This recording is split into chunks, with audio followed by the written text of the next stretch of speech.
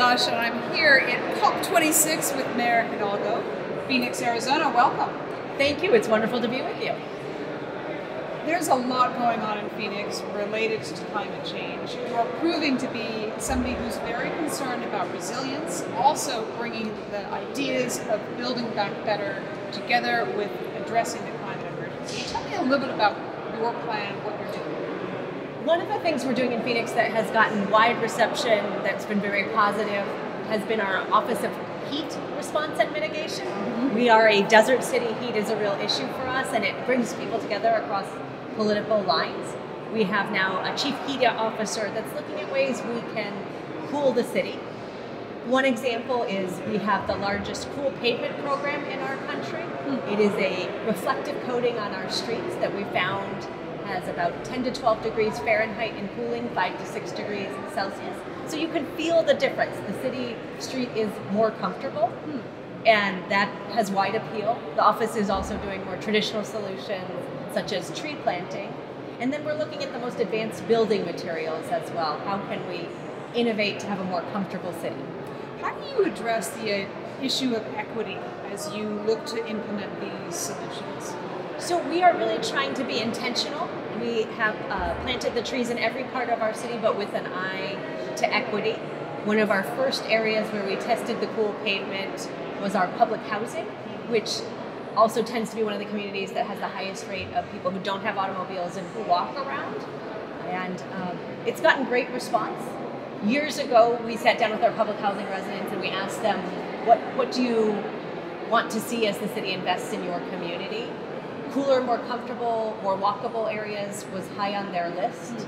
Uh, they also wanted solar in their community, and so we put solar over uh, a lot of the public spaces, and then it reduces their bills $15 a month, which is also gotten very high reviews. Incredible. Tell me how the, the cool pavements work. What is the technology? So it's a reflective coating, and so instead of the dark asphalt absorbing heat, it um, reflects it away. Mm-hmm. So when I speak to elementary school students, they tell me, you know, you don't wear a dark black shirt if you want to be cooler, and this is the same principles mm. right here.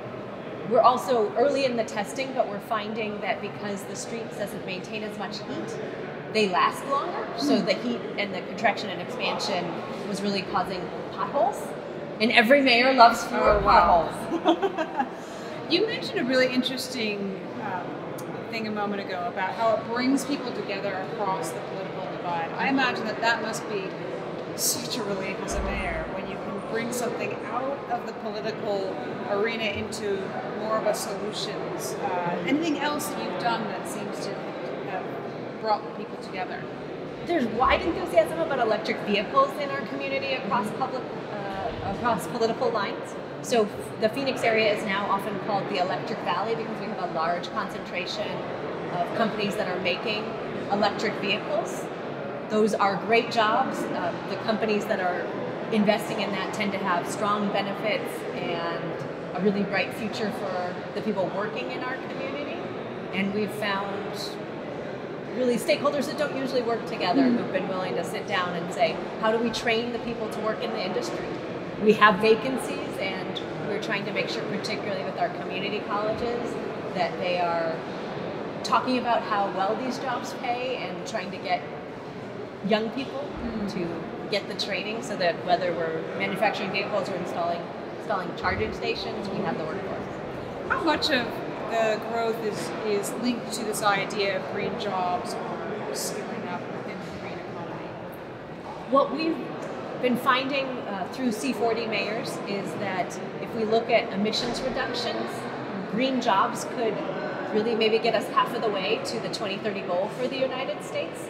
We just released a, a very useful study for mayors that talks about whether it be energy efficiency, retrofits at buildings, or better technology, that that can help us achieve the goal of getting everyone fully employed at the same time we are reducing our emissions. And that's something that's captivated a lot of people and given us more momentum than we would have otherwise. You're in a part of the world where migration is a day to day issue. You're, of course, not alone. We heard from the mayor of Dhaka North, uh, also a city where migration happens. How does, is that a challenge, and how can you turn that also into an opportunity? Right now, we have so many areas where we're hiring and we need people who are willing to work. Our light rail investments have been a great source of employment for people who are new to our community. In Phoenix, our largest source of new residents from the international community comes from Mexico, but we are also one of the largest cities for resettling refugees. Mm. I was talking to one man who had come to us from East Africa and who was now building our light rail system. And he shared with me that the job he got on the light rail system paid significantly more than the job he had previously, which was working at a hotel.